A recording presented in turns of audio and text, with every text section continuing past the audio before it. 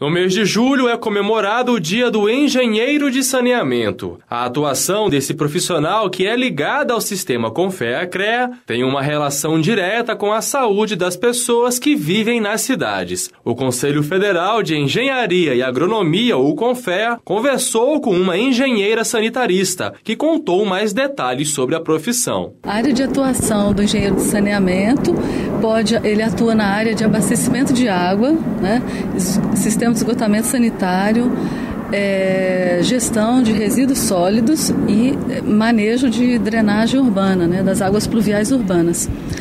É, essas são as áreas essenciais. Dentro dessas áreas é uma enormidade de, de processos, você precisa de é, engenheiros que atuantes na área de projeto, na área de obras, na área de planejamento. É, depois na área de operação desses sistemas e, e é uma gama enorme, enorme de, desse, de atividades. Segundo especialistas, a escassez de água já se tornou uma preocupação global e o Brasil é o detentor de uma preciosa reserva hídrica. Para isso, é fundamental administrar tal recurso, evitando principalmente o desperdício. Para isto surge fortemente a figura do engenheiro de saneamento, que possui técnicas para melhorar a distribuição e tratamento da água, principalmente em centros urbanos. Hoje, com, a, com a, essa crescente é, consciência do meio ambiente, as pessoas começam a enxergar um pouquinho mais o papel assim da gestão da água, né? Ah, eu estou economizando água, estou tendo consciência, não gasto dentro de casa.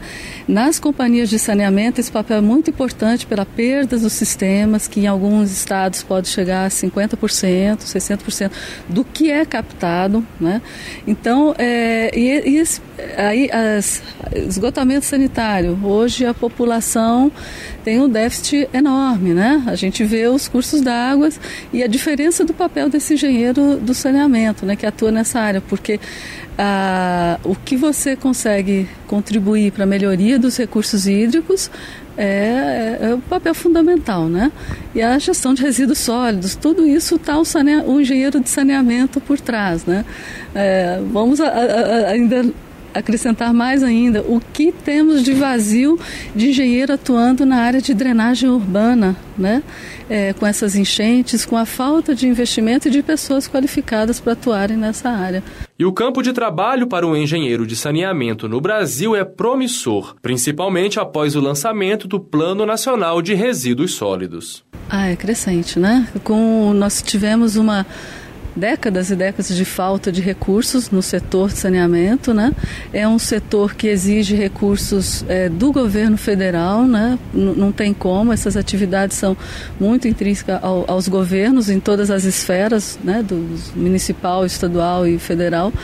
E com a partir é, desse agora mais recente, né, de dois com os novos com plano de saneamento, com a política de saneamento de 2007, com, com a instituição do Ministério das Cidades de 2002, esses recursos foram mais disponibilizados, né?